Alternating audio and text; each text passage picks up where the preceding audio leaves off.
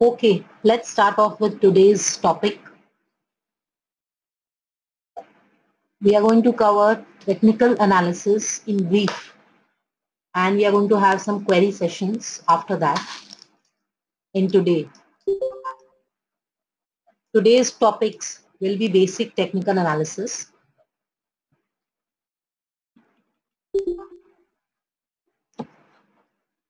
My screen is clear to everybody. You all can see the screen.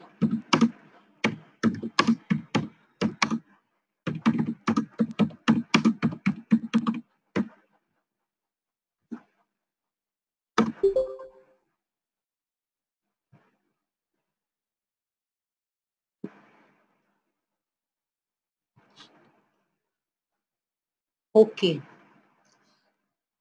My name is Ankita Jain.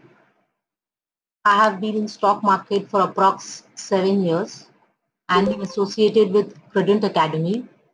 Earlier, I used to give trading intraday based calls in Credent Academy. Then I was a part-time faculty at St. Xavier's College, Kolkata.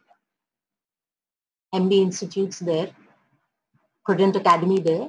And now I'm giving some online classes to you. So let's start off. So the screen as well as my voice is clear, right? Can we start off?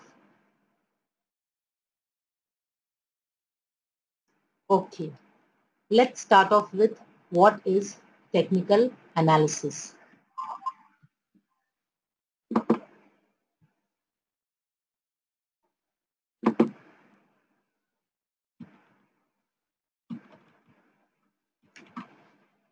In stock market there is there are two kind of studies which goes on. One is fundamental analysis one is technical analysis. While fundamental analysis is more about going through the balance sheet the pl account the cash flow statement of a company trying to find out that whether a company is overvalued, whether a company is undervalued.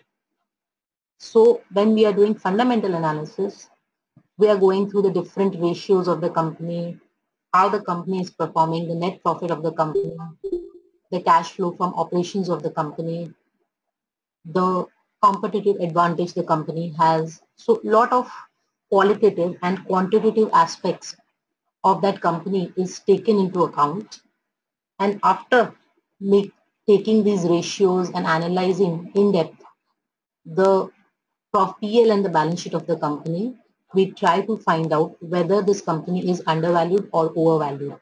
If we find this company undervalued, then we buy this company. And when we find that this company is overvalued, that means the market has already valued this company more than its actual value then we try, try to book profits on that particular company. But there are two schools of thought.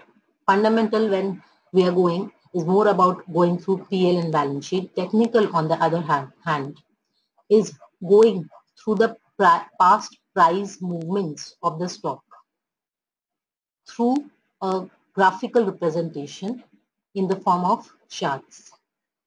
Now, technical analysis is predicting the future price movements of a stock by trying to find out or seeing the past price data.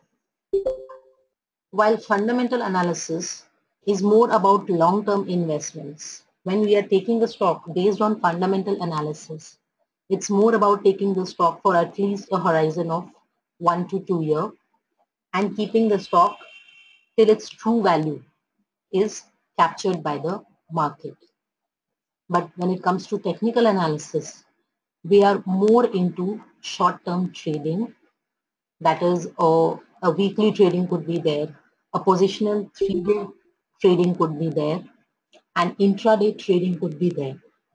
Intraday trading means trading when you buy a stock today itself and sell off today itself. In that case, you say that this is intraday trading. Similarly, suppose in the morning you sell a or short a stock. Selling, another word for selling is also shorting a stock. So when you're shorting a stock and then buying it back again that particular day itself, then it is called that it is intraday trading. Again, there is a concept called positional trading. What does positional trading mean? That you have bought a stock today and you don't sell it off today itself. You say, for example, keep it for two to three days or maybe a week. And after that one week or three to four days, you sell that stock. So that is called positional trading. Even if you are buying a stock, say for one month, that is also a form of positional trading. So this technical analysis has a lot of concepts which we are going to try and understand in today's class. So for people who do not want to keep their stock for one or two years and keep trading or keep buying and selling stocks regularly, for them, understanding technical analysis is very, very important. Okay, so let's understand what it, again trading can also be done for five minutes from a 15 minute chart. We're going to understand the concept of chart as we go on what is a chart.